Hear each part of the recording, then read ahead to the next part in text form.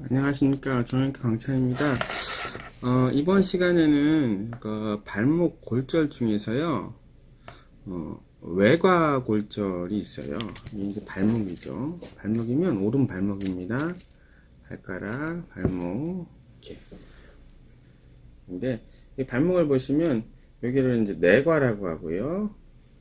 여기를 이제 외과라고 그래요. 예, 여기는 이제 우리가 일반적으로 안쪽 복숭뼈라고 하고 여기를 이제 바깥쪽 복숭뼈라고 합니다. 바깥쪽 복숭뼈, 안쪽 복숭뼈. 옆에서 딱 보시면 우리가 어, 발목이 환자분들이 부러졌어요, 금이 갔어요 이렇게 표현하시는 경우가 있어요. 부러진 것도 금이 간 것도 다 같은 골절이에요. 그래서 그거를 이제 환자분들이 어긋났느냐, 어긋나지 않았느냐라는 이제 표현을 금이 갔느냐, 아니면 부러졌느냐, 이렇게 말씀을 여쭤보시는데요. 자, 그걸 설명드리겠습니다.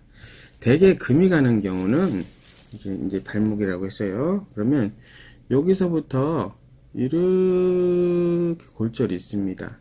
실선으로 표현을 하면, 이렇게 골절이 있어요, 이렇게. 대부분 그래요. 다시 한번 조금 더 보기 편한 걸로 바꿔 설명드릴게요. 잠깐만요. 네, 돌아왔습니다. 골절선이 이렇게 있습니다. 이렇게. 이렇게. 이렇게. 그래서 이제 어긋나지 않았어요. 비전위 또는 이제 미세전위라고 그러죠. 미세전위. 음. 전통적으로는 어, 수술하지 않습니다. 음, 비전이는 수술하지 않고요. 미서전이는 좀 고민을 합니다. 불과 몇 년 전까지도 그랬어요. 지금도 이 원칙은 크게 어긋나지 않습니다. 다만 이제 저희들이 사회생활 하면서 남자도 그렇고 여자도 그렇고 직장생활 하는 경우도 많고 집에서 아이들을 돌봄에도 이제 많이 돌아다니고 운전도 해야 되고 마트도 가야 되고 하여튼 그런 일이 많다 보니까 나는 발목을 좀 빨리 써야 된다 하는 분들이 좀 계십니다. 그래서 사실은 전통적으로는 수술을 안 하고 통 깁스를 하는 방법을 쓰지만 그 외에도 두 가지의 수술 방법을 선택하실 수가 있어요. 그래서 오늘은 이걸 말씀드리겠습니다. 자, 수술을 안 하는 치료를 하면 이제 붓기 빠질 때까지 기다리는 거예요. 그때는 반깁스를 합니다. 잠시만요. 자, 이런 반기부스를 합니다. 이게 좀 긴데, 좀 저는 좀 주로 짧은 걸 쓰는데요. 그래서 이제 발을 이렇게 안착을 시키는 거죠, 이렇게. 그래서 이제 반기부스를 하는데, 그래서 압박붕대를 이렇게 감아 놓습니다. 감아 놓으면, 한, 짧게는 3, 4일, 길게는 일주일, 열흘이면은 발에 붓기가 빠져요. 예. 물론 심하게 골절이 입으면 더 오래 걸리기도 하는데 붓기 빠지면 어쨌든 붓기가 빠져야 통기붓을 감을 수가 있는데 절대로 디디시면 안 돼요. 디디시면 금 같던 게 조금 어긋나고 또 그게 더 어긋날 수 있고 이제 어긋나는 게 점점 점점 점점 점 어, 벌어질수록 뼈가 안 붙을 가능성이 좀 높아지는 거거든요. 자, 지금 비전이 즉 금방 간걸 설명을 드리는 거예요. 비전이 이렇게 해서 보존적 치료를 하기 위해서 일주일 정도 이렇게 짧게는 4월 길게는 열흘에서 2주 정도 지나서 붓기가 빠졌네 통기부스를 했습니다. 의사 선생님은 절대로 디디면 안 된다 그래요. 저 또한 그럽니다. 왜냐면 나중에 이제 책임이라는 게 있기 때문에 치료 과정에 뭐 치료 원칙도 그렇고 4주에서 6주는 비체중 부하거든요. 근데 집에서 화장실 가면서 살살살 딛는 건 어떡하겠어. 그거 저희들이 못하게 의사들이 뭐라고 그럼 못해요. 하지만 의사의 치료 원칙은 비체중 부하다. 4주간. 음, 그런 다음에는 보통 일주일에서 2주 간격으로 엑스레이 찍습니다. 찍어서 어긋나지 않는다면 그때는 이제 약간 환자하고 보호자하고 이제 협상을 하는 거예요. 2주, 3주 지났는데도 전혀 어긋나지 않고 그대로다. 그러면 그때는 이제 의사 선생님에 따라서 집에서는 한 체중의 반 정도 디디셔도 돼요. 이렇게 설명을 드립니다. 4주 정도 지나면 이제 목발 없이도 그냥 살살 디디셔도 돼요. 기부스는 어, 다수, 다치고 나서 6주에서 8주 있다 풀릴게요. 이런 식으로. 이게 이제 비전이의 어, 보존적 치료를 선택하셨을 때 하는 치료 방법입니다. 제가 이제 다른 동영상에 보면 제 목발이라던가 목발이라던가 양쪽 목발, 한쪽 목발 또는 이제 무릎 자전거를 타는 동영상이 따로 있으시니까 네, 이렇게 기부스하고 목발이 필요하시거나 무릎 자전거가 필요하신 분들은 그 동영상 보시면 되겠고요. 음, 문제는 이런 비전이 골절은 그렇게 치료하면 되는데 까짓 건뭐 2, 3주 정도 있다가 살살 디딜 가능성도 있다는데 뭐 기부스 어, 6주. 길게는 뭐 8주 얘기하지만 보통 6주. 그리고 이제 진짜로 뼈가 안 어긋나고 그냥 금만 닦아신 분들은 4주 있다 풀리겠다 드물기는 하지만 연세 드신 분이나 골다공증 있는 분들은 좀 더 오래 합니다. 젊고 어리고 뼈가 튼튼하고 전이가 전혀 안 된 어, 금만간 골절일수록 조금 더 빨리 어, 기부스를 풀을 수가 있거든요. 기부스를. 문제는 이제 미세 전입니다. 금, 금만, 금이 딱 갔는데 살짝 벌어졌어. 살짝. 엑스레이나 CT를 봐, 봐, 도 살짝 벌어졌어. 이거는 벌어질 가능성이 어, 좀 있다는 거죠. 이런 때는 이제 의사 선생님이 더 이제 주의를 줍니다. 절대로 걸으시면 안 된다고.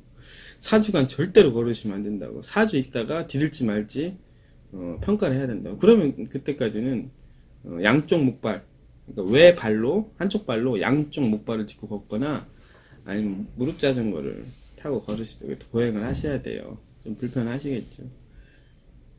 좀 살살 걸으면 안 돼요? 살살 디디면 안 돼요? 이거 자꾸 여쭤보시거든. 이거는 똑같아요. 의사한테 이제 수술 끝나고 상처 아문 다음에 술 마셔도 돼요? 담배 피워도 돼요? 이랑 똑같거든요. 어떤 의사 선생님도 술 마셔도 되고, 술 마셔도 되고, 담배 피워도 된다는 얘기를 하는 사람 없습니다. 마찬가지예요. 사주가 지날 때까지는 어떤 의사 선생님도 절대로 어, 뒤져도 된다는 얘기를 안 합니다. 왜냐면 그 말에는 나중에 이제 책임이 뒤따르거든요. 저 또한 그렇습니다. 미세전이 아주 조금 어긋났어요. 이때 보존적 치료를 할 때는 그런 이제 통기부스 기간도 보통은 어, 잠시만요. 네. 보통은, 어, 사, 그, 어, 6주, 조금이라도 어긋났으면 6주에서 8주 정도 하시고, 그리고 비체중부와는 절대로 사주는, 어, 그쪽 발 디디시면 안 되고, 그게 원칙입니다. 그런데, 이렇게 치료하다가 나중에 내가 실수로 살짝 디뎠어. 아니면 이제, 음, 아직 안 아픈데 하면서 막 돌아다녔어요. 그러다가 일주일, 일주일, 일주일, 일주일, 이주 간격으로 엑스레이를 찍었는데 이게 어긋나 버렸네? 어긋나 버리면, 어, 그때는 수술하셔야 됩니다. 예. 왜냐면 잘 안 붙고, 어긋난 상태로, 어, 붙어버리면 나중에 10년, 20년 지나서 발목에 관절염이 생겨요. 그래서 그거는 알아두셔야 됩니다. 그래서 보존적 치료는 자 장점 수술 안 해도 된다. 단점 통기식 기간이 길다. 음, 그리고 이게 어, 중간에 어긋나거나 뼈가 붙지 않으면 중간에라도 이제 수술적인 방법을 선택을 해야 된다. 그리고 어, 잠깐만 하나가 또 뭐지? 음. 어 비체정 비체정 부하 기간이 길다. 외발로 돌아다녀야 되는 부분이 길다. 그리고 아 뼈가 잘못 붙으면 어, 나중에 어, 관절염이 어긋나서 붙으면 나중에 10년, 20년 지나서 발목에 관절염이 생길 수 있다. 이런 단점이 있습니다. 그래서 수술 안 하는 거에 장점이 더 크냐? 본인이 생각할 때. 아니면, 아, 나는 빨리 걷고, 어, 빨리 돌아다니고, 그리고 나는 뼈를 정확하게 맞추고 싶어, 어? 라는 것을 원해서 수술하는 게 본인이 바람이 더 크냐. 이 무게를 따져서 이런 경우에도 수술 여부를 결정해요. 음, 그래서 의사 선생님이 수술하시고 싶으면 하시고요. 말고 싶으면 마세요. 선택하세요. 라고 이렇게 간단하게 설명드려요. 그러면 음, 환자분들은 이제 머리가 헷갈리죠. 머리가 아픈데 이거 하라는 거야? 말라는 거야? 그러면은 제가 수술 안 하는 거에 이제 장점과 단점을 이렇게 말씀을 드렸는데, 아, 동기부스를 하면 저는 이제 제 또 다른 동영상에 K타입의, 음, 동기부스라는 게 있어요. 이제 다른 동영상이 있는데, 아, 요렇게 감는구나. C타입 말고 K타입이 있는데, 아, 요렇게 감는구나. 물론 C타입을 감아도 되는데, 그런 동영상 보시면 좀 편하게, 어, 기부스를, 통기부스를 감아주는 걸 보실 수가 있고요. 자, 그런데 이제 그래서 이제 보존적 치료를 했어요. 근데 그 다음에는 전이골 비전이골절이건 금만간 골절이건 아니면 미세 전이골절이건 나는 빨리 돌아다녀야 돼. 그리고 나는 조금이라도 어긋나는 게 싫어. 나중에 10년, 20년 지나가지고 관절염 생길 가능성을 아 나는 완전 차단할 차단할 거야. 그래서 수술 방법을 선택하시는 분이 있어요. 수술. 자, 앞서서 비수술, 이제 수술입니다. 수술에는 두 가지 방법이 있어요. 두 가지 방법. 왜냐면 하나는 자, 절개를 합니다. 여기를. 아니 하나는 절개를 안 하고 어, 방사선 투과 조형 장치를 보고 예, 부분 마취를 하는 거죠. 국소 마취를 해서 미, 비전이나 미세전이 골절을 이제 미세전이 골절이 있으면 이제 살짝 살짝 집어가지고 이제 미세전이를 비전이로 만든 다음에 이런 거를 이런 첫심이죠. 이런 걸 두세 개를 박는 거예요. 어떻게 박냐? 이렇게 돼. 이렇게 하나, 둘, 셋. 물론 가능한 걸 네 개 정도 박을 수도 있고 안 째고 그냥 피부를 통해서 이렇게 그래서 이제 이 첫심은 이제 피부 안에 묻어 놓는데 그러면 째지는 않아요. 음, 째지는 않습니다. 그래서 국수 마취하고 간단하게 이제 박아놓고 이제 수술을 끝내는 거죠. 자, 그러면 이거 뭐 왜 해? 궁금하시죠? 자, 왜 해? 이 수술은 째고 하는 것보다 튼튼하지 않습니다. 튼튼하진 않은데 이렇게 수술을 하면 어 중간에 내가 실수로 살살 뒤졌을 때 물론 이제 뒤는 것은 수술 안 하는 것보다 조금 편하고 일찍 디딜 수가 있는데 살살 뒤졌을 때 어긋나는 거를 방지를 해주는 거죠. 미세전인 것을 좀 뼈를 맞춰주고 비전인 거는 그런 상태에서 약하게 고정을 해놓는 거예요. 째지 않고 약하게. 그런 다음에 이제 통기부스를 하는 겁니다. 그러면 내가 실수를 하도 아니 집에서 화장실 갈 때 살살 듣는 것 정도로는 얘가 어긋나지 않아요. 그러면은 장, 단점은 뭐예요? 어쨌든 다리만 마취하는 국소 마취를 하던 마취는 하는 거고 어쨌든 뽕뽕 핀을 뭐 주사 맞는 거랑 비슷한 거죠. 한 세 개 정도 박는 거. 그게 이제 단점이에요. 어쨌든 수술이니까. 장점은 비수술 수술 안 하고 치료하는 것보다 통깁스 기간이 짧아요. 보통 4주. 음, 보통 4주. 길면 6주. 그러니까 수술 안 하는 것보다는 2주씩이 좀 짧네요. 그리고 걷는 거는 수술 안 하면 한 달 동안 절대 디디면 안 된다고 했죠. 근데 이거는 한 2주 정도 지나서 엑스레이 찍어봐서 괜찮으면 1, 2주 지나서 엑스레이 찍어서 괜찮으면 화장실 갈 때 살살 디뎌도 된다고 합니다. 본인 체중의 반 또는 3분의 2. 그런 다음에 이제 통기부스는 한 달 정도 지나서 괜찮으면 풀러요. 보면은 수술 안 하고 치료하는 것보다 이렇게 살짝 째고 이렇게 째고서나 어, 아니, 살, 아, 안 째고서나 핀이라도 하나 받아놓는, 박아놓는 게 한 2주 정도 더 빠르다고 생각하시면 돼요. 기부스 기간이라든가 거, 살살 걷기 시작하는 기간이라든가 수술하는 방법이 하나 더 있다고 그랬죠. 예, 이제는 째는 수술입니다. 잠시만요. 자, 이제 금속을 갖고 오느라고. 자, 째는 수술은 발목이죠. 발목에서 외측에 여기를 조금 절개를 해요. 이렇게 절개를 합니다. 거기에서 뼈를 맞춰요. 이제 어긋났던 어긋난 건 맞추고 안 어긋난 거는 그대로 하겠죠. 근데 금속 판을 댑니다. 이렇게 금속 판을 대고 있고 금속 판에 구멍 있죠. 거기서 나사못으로 고정을 해요. 즉 쇠로 튼튼하게 고정을 하는 겁니다. 이, 이런 식으로 이런 식으로 자, 튼튼하겠죠. 그래도 깁스는 합니다. 어, 깁스는 하는데, 그럼, 뭐 이건 계속 했는데 뭐가 장점이야? 일단, 어긋날 가능성이 없죠. 즉, 10년, 20년 후에 외상성 관절염이 생길 가능성을 많이 줄어듭니다. 단점은 수술을 해야 된다는 것과 흉터가 생긴다는 것. 그리고 5, 6개월 있다가 금속을 한번 뽑아, 뽑을 수 있다는 것. 젊은 사람들은 되게 뽑고, 연세 드신 분들은 안 뽑는 분들이 많아요.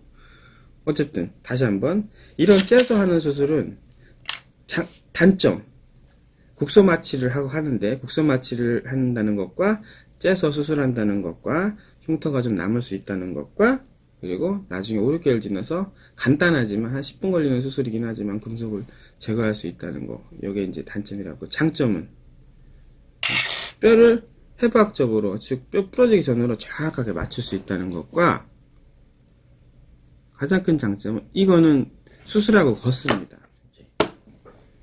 물론 이제 반기부스나 통기부스를 하기는 해요. 보통 뭐 짧게는 2, 3주, 길게는 한 4주. 그래서 기부스를 하고 바로 걷습니다. 이거. 바로 그냥 어, 한 붓기 빠질 때까지 1, 2주는 살살 걷고 어, 그리고 그 다음부터는 그냥 1, 2주 지나서 붓기 안 나서 그냥 막 걷습니다.